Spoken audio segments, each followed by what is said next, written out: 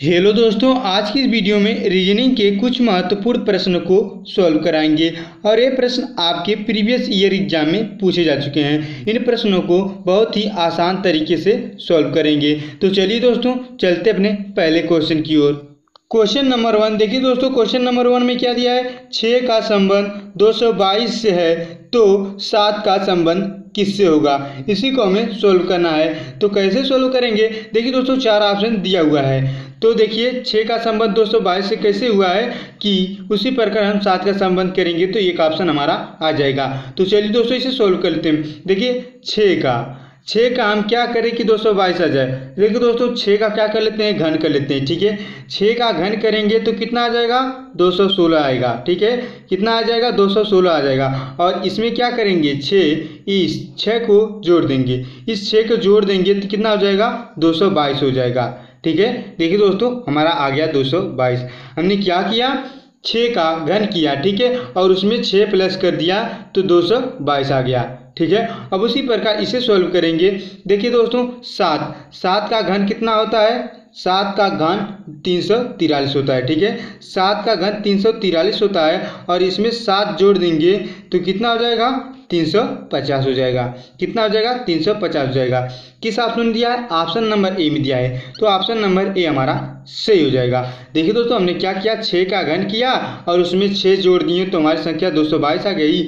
उसी प्रकार हमने सात का घन किया और इसमें सात जोड़ दिया तो तीन सौ पचास आ गया। ऑप्शन नंबर ए में दिया है तीन सौ पचास तो ऑप्शन नंबर ए हमारा सही हो जाएगा। तो चलिए दोस्तों, चलते अपने नेक्स्ट क्वेश्चन पर। क्वेश्चन नंबर दूसरा, देखिए दोस्तों, क्वेश्चन नंबर दूसरे में क्या दिया? 121 का संबंध 12 से है तो 25 का संबंध किससे होगा? इसी को हमें सॉल्व करना है। चार ऑप्शन दिए हुए हैं। देखिए दोस्तों, इस प्रश्न को कैसे सॉल्व करेंगे? 121 दिया है, इसका संबंध 12 से है। ठीक है? कैसे है? देखिए दोस्तों, अगर 12 का हम वर्ग करेंगे तो कितना आ जाएगा? एक सौ चौवालीस आ जाएगा। ठीक है? तो यहाँ पर कितना है? 121 है। आने की है, बारह का वर्ग नहीं है। ठीक है? तो हम क्या करेंगे कि यहाँ पर बारह आ जाए। 121 का किया किया है कि यहाँ पर बारह आ गया है। देखिए दोस्तों, ग्यारह का वर्ग करेंगे। ठीक है?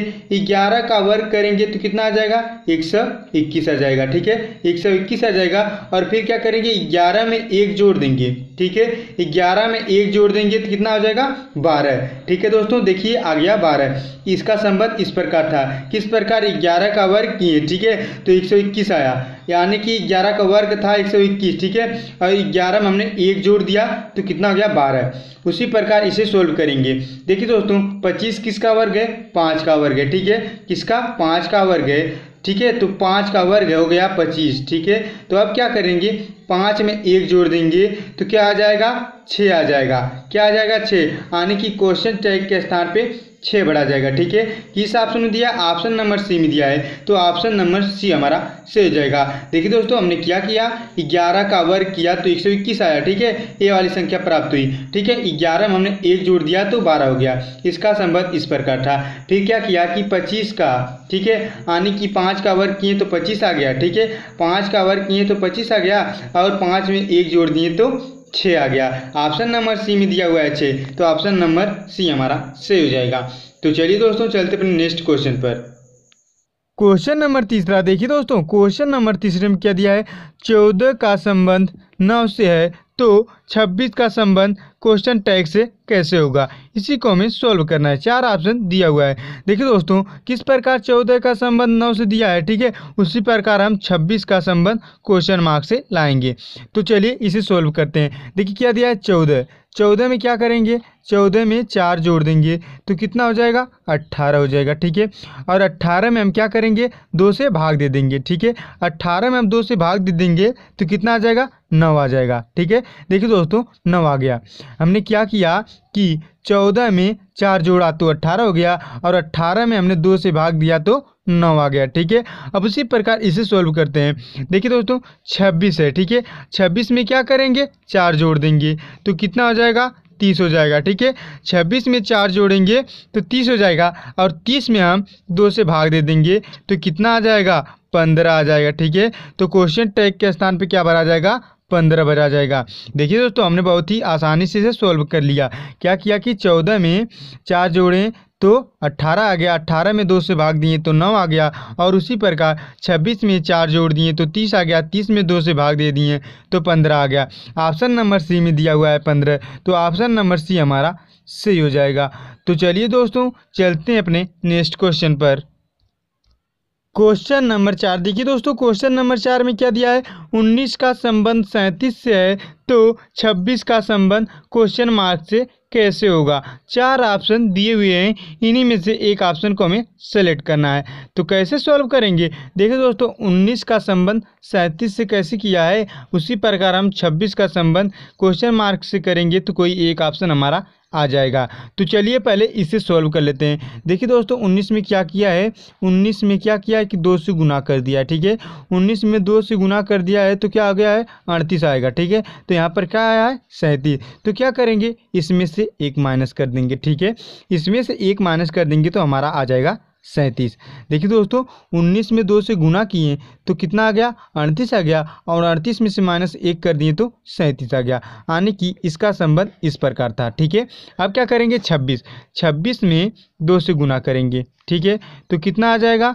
बावन आएगा, ठीक है? छब्बीस में हम दो से गुना करेंगे तो बावन आ जाएगा और बावन में से माइनस एक करेंगे तो कितना आ जाएगा? इक्यावन आ जाएगा, ठीक है? कितना आ जाएगा? इक्यावन। किस ऑप्शन में दिया है? ऑप्शन नंबर बी में दिया है तो ऑप्शन नंबर बी हमारा सही हो जाएगा। देखिए दोस्तों, हमने क्या किया कि छब्बीस में दो से गुना किया तो बावन आ गया, ठीक है? और बावन में से माइनस एक कर दिया तो इक्यावन आ गया। तो क्वेश्चन मार्क के स्थान पे इक्यावन भरा जाएगा, ठीक है? और ऑप्शन नंबर बी में दिया है तो ऑप्शन नंबर बी हमारा सही हो जाएगा। तो चलिए दोस्तों, चलते हैं अपने नेक्स्ट क्वेश्चन पर। क्वेश्चन नंबर पाँचवा, देखिए दोस्तों, क्वेश्चन नंबर पाँच में क्या दिया है? बयालीस का संबंध बीस से है तो चौंसठ का संबंध किससे होगा?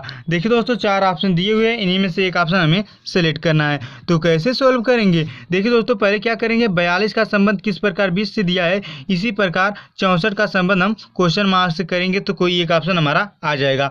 तो चलिए पहले इसे सोल्व कर लेते हैं। देखिए दोस्तों, क्या करेंगे? बयालीस का संबंध बीस से कैसे दिया है? बीस में क्या करेंगे कि दो से गुना कर देंगे, ठीक है? दो से गुणा करेंगे तो कितना आ जाएगा? चालीस आ जाएगा, ठीक है? और चालीस में हम दो जोड़ देंगे तो कितना हो जाएगा? बयालीस हो गया, ठीक है? देखिए दोस्तों, इसका संबंध इस प्रकार था। बीस में दो से गुना किए तो चालीस आएगा चालीस में दो जोड़ दिए तो बयालीस आ गया, ठीक है? अब उसी प्रकार इसे सॉल्व करते हैं। देखिए दोस्तों, क्या दिया? चौंसठ। चौंसठ का संबंध क्वेश्चन मार्क से है, ठीक है? तो क्या करेंगे? इसे ऑप्शन सोल्व करते हैं, ठीक है? तो क्या करेंगे? ऑप्शन सोल्व करेंगे तो ऑप्शन नंबर ए में क्या दिया? है इकतीस। ठीक है? इक्कीस में हम दो से गुणा करेंगे तो कितना आ जाएगा? बासठ आएगा, ठीक है? और बासठ में हम दो जोड़ देंगे तो कितना आ जाएगा? चौंसठ आ जाएगा, ठीक है दोस्तों? तो क्वेश्चन मार्क के स्थान पे क्या भरा जाएगा? इकतीस भरा जाएगा, ठीक है? क्या भरा जाएगा? इकतीस तो ऑप्शन नंबर ए में दिया है इकतीस तो ऑप्शन नंबर ए हमारा सही हो जाएगा। हमने क्या किया कि बीस में दो से गुना किया तो चालीस आ गया, चालीस में दो जोड़ दिए तो बयालीस आ गया, ठीक है?